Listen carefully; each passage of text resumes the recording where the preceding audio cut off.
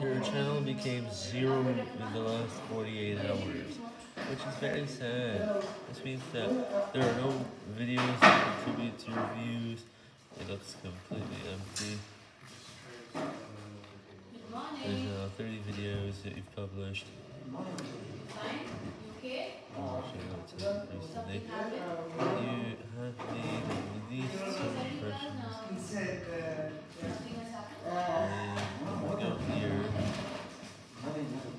You've made seven impressions, which is okay. Okay, I think we should the start video, you're still making have a lot of impressions.